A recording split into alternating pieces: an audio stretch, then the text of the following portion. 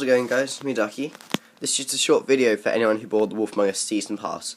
Now, as you know, like, you didn't get the Episode 2, like, Smoke and Mirrors, when it came out for free. There was, like, a system problem with it, or whatever.